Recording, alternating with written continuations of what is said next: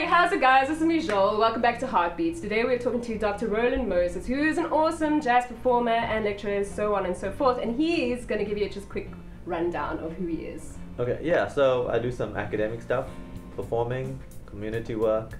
Uh, spend most of my time, uh, well, I think majority of it teaching at TUT. I head the program, Mm. uh, one of the senior lecturers, and then a lot of performing. I play in various different bands, Mm. acid jazz, gospel, uh, corporate bands. Um, my own trio that's uh, we just started performing again. I recorded something a few years ago. We're gonna release it soon. Oh, good, just do man. more tours. Um, yeah, and then accompaniment, uh, international competition, jazz festivals, that sort of thing, and uh, also community work at um, Yeah. church and, and things like that. Awesome, man. Cool. You're going to love it. So.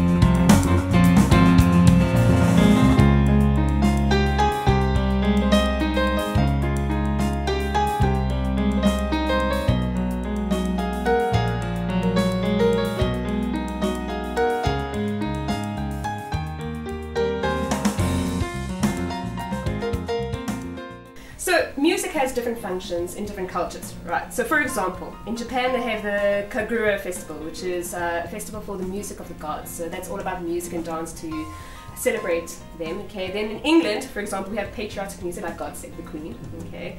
And Islam, you cannot even associate music with religion. When uh, they recite the Quran, they're not even allowed to say they sing in the Quran, okay? So, does culture define music, or does music reflect our culture?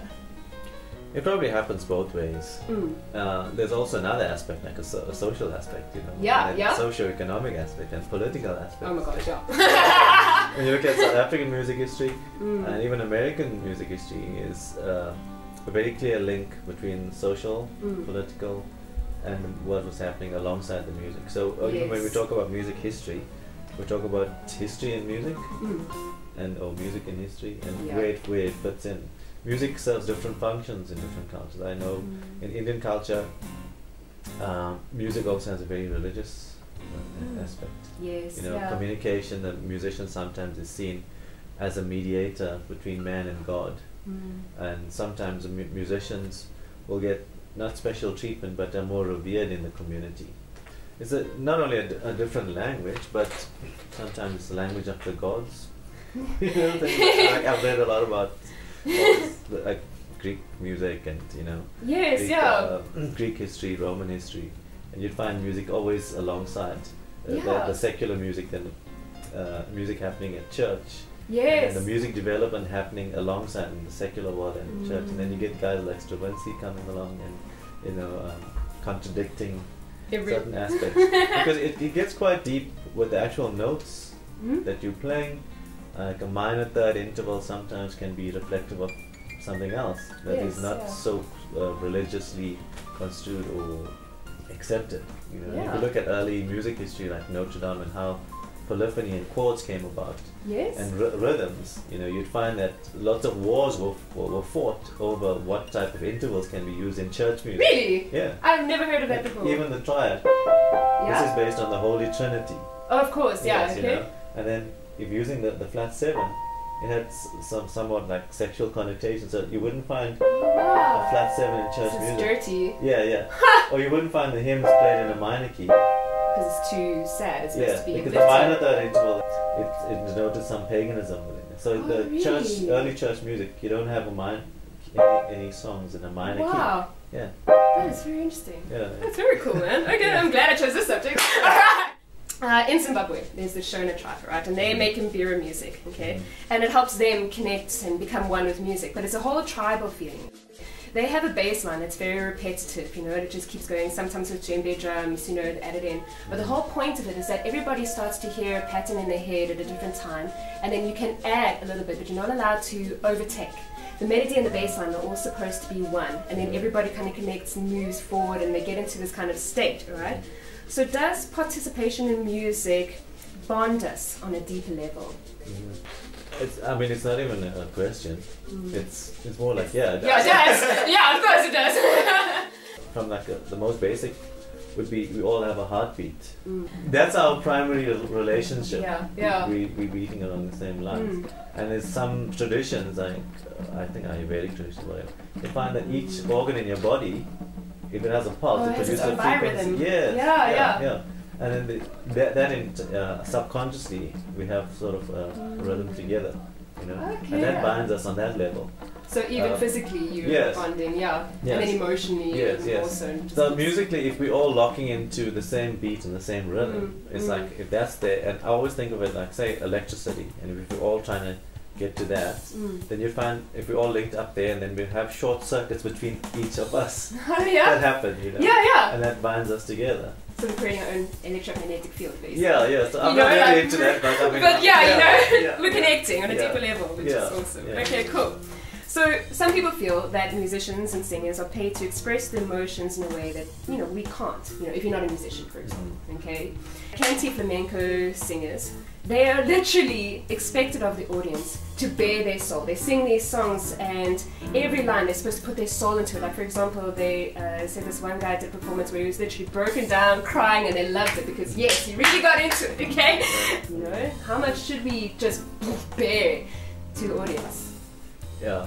Um, I find recently um, with some performers, there's no balance between what you're actually producing in terms of the sonic palette or the sound Mm. in comparison to the emotional level. Yes, You know, yeah. So there's some sort of you know some choreography going on.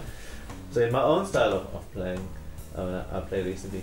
Um, I'm just very much more relaxed Mm. and I like the emotions to be inside me, and then I try to bring it out into the music through my hands, and so you must hear it in the music. Yes. You know, so I always think, like if I'm playing for a blind person, they must feel the emotion Ah, yeah. from the music, and not by looking at how I'm gyrating or. yeah, yeah, no, it's not about you, it's Yeah, about going beyond. Yeah, because you can. I mean, in most instances, you can be faking, Oh, yeah. faking the, But then the I think people thing. feel that if it's, or they put it this way, they won't be as emotionally touched by the music when you're Yeah. faking it. Yeah, Yeah. I think to get into your zone, um, and your core and your focus of making pure music, you would want to start off with con- connecting with the music and your instrument first, and then that will result in your Yeah. body movement and expressive movement. It also relates to the instrument you're playing. Yes. Like if you're yeah. playing a saxophone, you're more in touch with it because you're actually literally blowing through it. Mm. Now, if you're playing piano and guitar, the only thing that's connecting with it is your fingers. So we can be very mechanical and play the whole day and not be as exhausted as a saxophone player or a singer. Oh, because it's literally your breath. Yes. Yeah, yes. you know. yeah, or a drummer because you're pounding away. You know. yeah, yeah. So the instrument also affects um, Mm. your level of expressiveness. well, the relationship you have with your instrument, you're very comfortable and it becomes like a second part of your body. Then it also allows emotions to come out a lot easier than somebody who's, for example, just Yeah. focusing on what note must I hit next. You know. yeah. What my, my Yeah. other teacher told me, you know, why waste energy on all the gyrations when you can focus it in, into the music? And when you see him playing, it's also like very calm and still. But when you hear what he's actually producing on the instrument, it's amazing. It's like Yeah. crazy, you know. So he's putting his whole art into it Yeah, yeah. to. And I, re- I read something recently. Um, it's called um, The Secret World of, or The World of a Pianist. Yeah. You know, the book. And one of the things that struck me was art is not a science. Yeah. You know, so a lot of people are trying to now figure out art, but from a scientific perspective. And they're trying to find like the X factor. They're trying Yes. to define it. You know, they're Yeah, trying to say A, B, C Yeah. will give you the perfect song. or Exactly, whatever. yeah. And yeah. I don't think that'll ever happen. Because there's always going to be magic in it, which Mm. can't be defined. And I think that is the point of it. That is magic in music or the heart in it, whatever. Is something you can't put your finger on. Mhm. I just love music, you know, Mm. and um, most of my life issues I kind of solve with music.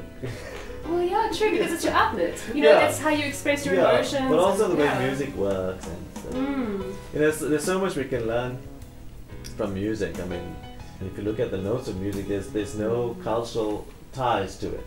Like a C major scale Yeah. in this culture the same as other cultures. The same. Yeah, like yeah. It's, note is the same. Regard, it doesn't have any baggage, It's emotional or yeah. Yeah, you know. De- I like to delve into the spirituality of music because I was studying in, in Sweden a few years ago. I was practicing for lots and lots of hours, you know. And after I did my master's, I said there is something more to music because you know we all Mm. have a, a sort of a void Yeah. that we try to fill, and lots musicians I find music is, is actually a good thing to fill up that void. Like sometimes if you don't play an instrument for two days or three days, you start to go a bit. Yeah, no, I know that. Yeah. Hey guys, that was part one. Hope you enjoyed. Please share about your culture and music and society in your world and how you see it impacting you. Part two, we'll be talking about um, how to be a versatile artist in the world that is pretty commercially driven, and also we'll be talking about improv. So have an awesome day. Like, subscribe, comment, and I will check you the next time.